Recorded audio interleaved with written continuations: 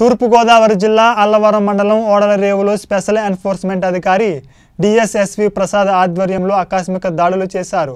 ఓడలరేవు సముద్ర తీర ప్రాంతంలోని సిఆర్జెడ్ భూముల్లో అక్రమ ఇసుక తవ్వకాలు జరుగుతున్నాయనే సమాచారంతో అధికారులు దాడులు చేశారు.